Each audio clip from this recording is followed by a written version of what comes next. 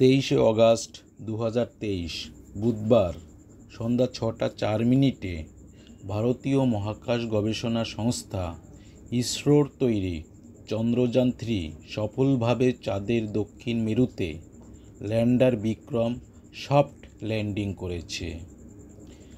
Lander Vikram চোদ্দ দিন ব্যাপী দক্ষিণ মেরুতে চাঁদের মাটিতে পরীক্ষা নিরীক্ষা চালাবে। এখন পর্যন্ত পৃথিবীর কোনো দেশ চাঁদের দক্ষিণ মেরুতে কোনো রকম অভিযান সফল করতে পারেনি। আমাদের ল্যান্ডার বিক্রম চাঁদের মাটিতে ল্যান্ডিং করার মাত্র দুদিন আগেই রাশিয়ার রস কসমস প্রেরিত লুনার টোয়েন্টি ফাইভ ব্যর্থ হয়েছে। এই ব্যর্থতায় আমরা সমব্যথী। ভারতের এই সাফল্যে উন্নত দেশগুলি বিস্মিত। ভারতের এই জয় বিশ্ব জয়ের সমতুল্য। কবি অতুল প্রসাদের সেই বাণী আজ বাস্তবে পরিণত হওয়ার সময় এসে গেছে। ভারত আবার জগৎ সবার শ্রেষ্ঠ আসন লবে। বন্ধুরা, এই মহাকাশ গবেষণার সাফল্য একদিনে সম্ভব হয়নি। এর পিছনে অবদান রয়েছে সেই বৈদিক যুগের আর্য পুরুষদের থেকে শুরু করে বর্তমান যুগের কে শিবম এবং এস সোমনাথের মতো হাজারো মহান বিজ্ঞানীদের নিরলস পরিশ্রম এবং তাদের বিস্ময়কর মেধার অবদান। বন্ধুরা, আজ আমি এই পর্বে ভারতের মহাকাশ গবেষণার সূত্রপাত থেকে বর্তমান পর্যায়ের উন্নতির গল্পটি তোমাদের সঙ্গে শেয়ার করব। ইসরোর চেয়ারম্যান এস সোমনাথের কথায়, ভারতীয় মহাকাশ গবেষণার সূত্রপাত নিহিত রয়েছে বৈদিক ধর্মগ্রন্থগুলিতে। বৈদিক আর্য ঋষিরা মহাকাশ সংক্রান্ত অনেক গুরুত্বপূর্ণ তথ্য বৈদিক গ্রন্থগুলিতে বর্ণনা করে গিয়েছেন। বৈদিক গ্রন্থগুলি অধ্যয়ন করে পরবর্তীতে অনেক বড় বড় বিজ্ঞানী তৈরি হয়েছে। শুধু মহাকাশ সংক্রান্ত নয়, বিজ্ঞানের সমস্ত দিকের দিকপাল বিজ্ঞানীদের মধ্যে উল্লেখযোগ্য বিজ্ঞানী হলেন আর্যভট্ট বরাহমিহির ব্রহ্মগুপ্ত, ভাস্করাচার্য। গুপ্তযুগের বিজ্ঞানী আর্যভট্ট নালন্দা বিশ্ববিদ্যালয়ে অধ্যয়ন করেছিলেন। তিনি পাইয়ের মান থ্রি পয়েন্ট ওয়ান ফোর এবং শূন্যের আবিষ্কার করেছিলেন। এবং দ্বিঘাত সমীকরণের আবিষ্কারকর্তা সেই আর্যভট্ট। আর্যভট্টের লিখিত গ্রন্থে নাম আর্য সিদ্ধান্ত সরি সূর্য সিদ্ধান্ত মহাকাশের গ্রহ নক্ষত্রের গতিবিধি এবং বিভিন্ন তথ্য বর্ণিত রয়েছে। ব্রহ্মগুপ্তের ব্রহ্ম সিদ্ধান্ত গ্রন্থে বরাহমির, ভাস্করাচার্য, নাগার্জুন, চরক, সুশ্রুত, ধন্বন্তরী, পিঙ্গল, শ্রীধরাচার্য, বোধন্যায়, অগস্তা, এরা ছিলেন ভারতীয় দিকপাল বিজ্ঞানী। আঠারোশো আট সালে ডাল্টন যে অ্যাটমিক থিওরি দিয়েছিলেন, তার বহু শতাব্দী আগেই ভারতীয় বিজ্ঞানী কনাদ পরমাণু সম্পর্কে ধারণা দিয়ে গেছেন। তাই বলছি, অজানাকে জানার ইচ্ছা রয়েছে প্রতিটি ভারতীয়দের রক্তে। মধ্যযুগীয়, ধর্মীয় অপশাসন এবং ইউরোপীয়দের শোষণ ভারতীয় বিজ্ঞান চর্চাকে দমন করে রেখেছিল। মধ্যযুগে এবং ব্রিটিশ সাম্রাজ্যের অধীনে ভারতে সেই রকম বিজ্ঞান চর্চার অগ্রগতি হয়নি। উনিশশো সাতচল্লিশ সালের পর ইংরেজদের ফেলে যাওয়া কঙ্কালসার ভারতে যেভাবে মেধার বিকাশ এবং বিজ্ঞান চর্চা হয়েছে, তার ফল আমরা এখন চোখের সামনে দেখতে পাচ্ছি। যে ব্রিটিশরা ভারতকে শাসন করে গিয়েছে প্রায় দুশো বছর, আজ সেই ব্রিটিশদের বর্তমান প্রধানমন্ত্রী ঋষি সুনক একজন ভারতীয়। আমেরিকার উপরাষ্ট্রপতি কমলা হ্যারিস, তিনিও ভারতীয়। বর্তমান মাইক্রোসফটের চিফ এক্সিকিউটিভ অফিসার সত্য নাদেলা ভারতীয়। গুগলের সিইও সুন্দর পিচাই থেকে শুরু করে পৃথিবীর বড় বড় কোম্পানি এবং বড় বড় জায়গায় রাজনীতিতে বিভিন্ন ক্ষেত্রে ভারতীয়দের একছত্র আধিপত্য রয়েছে।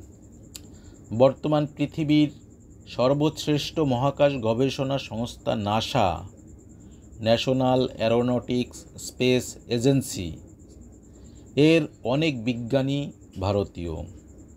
পৃথিবীর সমস্ত দেশের বিজ্ঞানীদের নিয়ে প্রতিষ্ঠিত নাসা যে সাফল্য দেখিয়েছে, তার সঙ্গে যদি তুলনা করা যায়, সম্পূর্ণ ভারতীয় বিজ্ঞানীদের তৈরি এবং দেশীয় প্রযুক্তিতে পরিচালিত ইসরো আজ যে সাফল্য দেখাচ্ছে, তাতে সারা বিশ্ব হতবাক। তাই আজ সারা পৃথিবীতে ভারতীয় মেধার জয় জয়কার। উনিশশো বাষট্টি সালে Indian national committee for space research প্রতিষ্ঠিত হয়েছিল। উনিশশো উনসত্তর সালে যে বৎসর নাসা ভারতে সরি, নাসা চাঁদে মানুষ পাঠিয়েছিল। সেই বছর ভারতীয় অ্যাটমিক এনার্জি কমিশনের অধীনে পনেরোই August Indian space research organisation তথা ইসরো প্রতিষ্ঠিত হয়েছিল। ইসরোর প্রথম চেয়ারম্যান ছিলেন বিক্রম সারাভাই। সোভিয়েত ইউনিয়ন, বর্তমান রাশিয়া, এর সহায়তায় ভারতের প্রথম তৈরি স্যাটেলাইট ছিল আর্যভট্ট, যেটি উনিশশো পঁচাত্তর সালে সফলভাবে মহাকাশে প্রতিস্থাপন করা হয়েছিল। উনিশশো আশি সালে রোহিণী উৎক্ষেপণ করা হয়েছিল। এটি ছিল সম্পূর্ণ দেশীয় প্রযুক্তিতে তৈরি প্রথম উপগ্রহ, যা সফলভাবে কক্ষপথে স্থাপন করা হয়েছিল। এই উপগ্রহগুলিকে উৎক্ষেপণের জন্য যে মহাকাশ যানগুলির দরকার হয়, সেগুলিকে রকেট বলা হয়। প্রাথমিক পর্যায়ে satellite launch vehicle SLV three রকেটের সাহায্যে এই উৎক্ষেপণগুলি করা হয়েছিল। ইসরোর বর্তমান হেডকোয়ার্টার কর্ণাটকের বেঙ্গালুরু। বর্তমানে ভারতের তিনটি লঞ্চিং স্টেশন থেকে ইসরো রকেট লঞ্চিং করে। এগুলো হলো বিক্রম সারাবাই স্পেস সেন্টার, ত্রিবন্তপুরম বা থুম্বা, এটি কেরালাতে অবস্থিত। সতীশ ধাওয়ান স্পেস সেন্টার, শ্রীহরিকোটা, অন্ধ্রপ্রদেশে অবস্থিত এবং ডক্টর আব্দুল কালাম আইল্যান্ড উড়িষ্যাতে অবস্থিত। বর্তমান ইসরোর হাতে দু ধরনের স্যাটেলাইট লঞ্চিং ভেহিকেল রয়েছে, যেগুলো হলো polar satellite launch vehicle PSLV এবং geosynchronous satellite launch vehicle GSLV বর্তমানে ভারতীয় মহাকাশ গবেষণা সংস্থা যে যে অ্যাচিভমেন্টগুলি অর্জন করেছে তা অত্যন্ত অভাবনীয়। দু হাজার তেইশ সালে মঙ্গলের উদ্দেশ্যে ইসরো প্রেরিত মঙ্গলযান প্রথমবারের চেষ্টায় সফলভাবে মঙ্গল গ্রহের চারদিকে এখনও ঘুরে চলছে। দু হাজার আট সালে বাইশে অক্টোবর চাঁদের উদ্দেশ্যে চন্দ্রযান ওয়ান লঞ্চ করেছিল ইসরো। দু হাজার নয়ের আঠাশে অগাস্ট পর্যন্ত চন্দ্রযান ওয়ানের সঙ্গে ইসরোর বিজ্ঞানীদের যোগাযোগ ছিল। তারপর হঠাৎ করে যোগাযোগ বিচ্ছিন্ন হয়ে যায়, অর্থাৎ মিশনটি আংশিকভাবে ব্যর্থ হয়েছিল। দু হাজার উনিশ সালের বাইশে July Chandra, Chandrayaan two launch করে চাঁদের দক্ষিণ মেরু সম্পর্কিত গবেষণার উদ্দেশ্যে ছয়ই সেপ্টেম্বর দু হাজার উনিশ ল্যান্ডার বিক্রমের অবতরণের মাত্র কয়েক সেকেন্ড পূর্বেই ইসরোর সঙ্গে যোগাযোগ বিচ্ছিন্ন হয়ে যায়। অর্থাৎ বিক্রম সজোরে চাঁদের বুকে আঘাত হানে এবং ভেঙে যায়। সেই ব্যর্থতার দুঃখকে সামলাতে না পেরে সেই সময় ইসরোর চেয়ারম্যান কে শিবম কান্নায় ভেঙে পড়েছিলেন। এবং ভারতের প্রধানমন্ত্রী নরেন্দ্র মোদী তাকে আলিঙ্গন করে সান্ত্বনা দিয়েছিলেন। দু হাজার তেইশের চোদ্দোই জুলাই ভারতীয় মহাকাশ গবেষণা সংস্থা ইসরো চন্দ্রযান মিশন টু এর ব্যর্থতাকে সাফল্যে রূপান্তরিত করার জন্য আবার চন্দ্রযান থ্রি লঞ্চ করা হয়। এইবার চন্দ্রযান থ্রি দক্ষিণ মেরুতে সফলভাবে অবতরণ করেছে। এটা ছিল ভারতীয় বিজ্ঞানীদের সবথেকে বড় চ্যালেঞ্জ যাদের দক্ষিণ মেরুতে আজও পৃথিবীর কোনো দেশ পৌঁছাতে পারেনি, কিন্তু ভারতীয় বিজ্ঞানীরা সেটা করে দেখিয়েছেন। এই বিজয় ভারতীয় বিজ্ঞান গবেষণার ক্ষেত্রে যে আত্মবিশ্বাস অর্জন করেছে এবং সমস্ত ভারতবাসী এতটাই উৎসাহিত, সেটা আমরা সোশ্যাল মিডিয়া এবং টিভি চ্যানেলের মাধ্যমে দেখতে পাচ্ছি। নতুন প্রজন্মের মধ্যে মহাকাশ গবেষণার আগ্রহ ভীষণভাবে আকর্ষণীয় হচ্ছে। আমি আশা করি খুব শীঘ্রই ভারতীয় মহাকাশ গবেষণা সংস্থা, পৃথিবীর এক নাম্বার মহাকাশ গবেষণা সংস্থায় রূপান্তরিত হবে। অনেকেই বলবেন, চাঁদের মাটিতে পৌঁছে আমাদের কী লাভ?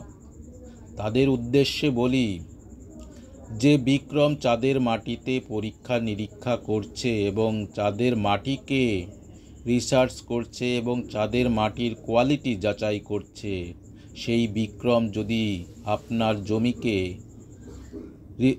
পরীক্ষা নিরীক্ষা করে কোন ফসলের জন্য উপযুক্ত বিবেচনা করে, সেটাই কি সব থেকে বেস্ট পরীক্ষা নিরীক্ষা হবে না? আপনি তার উত্তর দেবেন। সুতরাং অবশ্যই বুঝতে পারছেন এর সাফল্য কোথায়।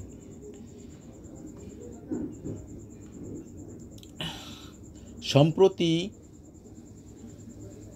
ভারত প্রায় নয় হাজার কোটি টাকার প্রজেক্ট পেয়েছে ইসরোর এই চন্দ্রযান তৃতীয়র সাফল্যের জন্য। এবং এই চন্দ্রযান থ্রির সাফল্য এই জয়যাত্রা নতুন নতুন আবিষ্কারকে উৎসাহিত করবে। আমরা দেখেছি ভারত সায়েন্স অ্যান্ড টেকনোলজির ক্ষেত্রে বিভিন্ন যন্ত্রপাতি বিদেশ থেকে আমদানি করে আসছে। আশা করি এই আমদানির দিন আস্তে আস্তে সমাপ্ত হবে এবং ভারত থেকে বিভিন্ন সায়েন্স অ্যান্ড টেকনোলজিক্যাল প্রোডাক্ট পৃথিবীর অন্য অন্য দেশ আমদানি করবে। এত সময় ধৈর্য ধরে আমার এই ভিডিওটি দেখার জন্য আপনাদের অসংখ্য ধন্যবাদ। ভুল ত্রুটি হলে মার্জনা করবেন এবং অবশ্যই চ্যানেলটি যদি এখনও পর্যন্ত সাবস্ক্রাইব না করে থাকেন, সাবস্ক্রাইব করবেন এবং কমেন্টে জানাবেন ভিডিওটি কেমন হয়েছে। প্রসঙ্গত বলি, আমার নিজের একটি রেসিডেন্সিয়াল আবাসিক কোচিং সেন্টার রয়েছে। এটি উত্তর চব্বিশ পরগনায় অবস্থিত। এখানে মেনলি ডিফেন্সের সমস্ত এক্সামের প্রিপারেশান দেওয়া হয়। সেন্টার গভর্নমেন্টের এসএসসি জিডির আন্ডারে ITBP CISF CRPF BSF SSB সহ থেকে শুরু করে আর্মির পাঁচটা ট্রেডের অগ্নিবীরের জন্য পড়ানো হয় এবং ফিজিক্যাল ট্রেনিং দেওয়া হয় এবং Bengal police, Kolkata police, jail police, আবগারি পুলিশেরও প্রিপারেশান দেওয়া হয় এবং খুব কম খরচে এখানে থাকা খাওয়ার ব্যবস্থা আছে। যদি প্রয়োজন মনে করো, অবশ্যই আমার সঙ্গে যোগাযোগ করতে পারো। আমি গ্যারান্টি দিচ্ছি খুব অল্প সময়ের মধ্যে তোমাকে সাফল্যের চরম শিখরে পৌঁছে দিতে পারব। এবং আমার লেখায় একটি বই শিওর সাকসেস ফর ডব্লিউবিপি এবং অ্যান্ড কেপি অ্যামাজন এবং ফ্লিপকার্টে পাওয়া যাচ্ছে। ধন্যবাদ। বন্দে মাতারাম। জয় হিন্দ।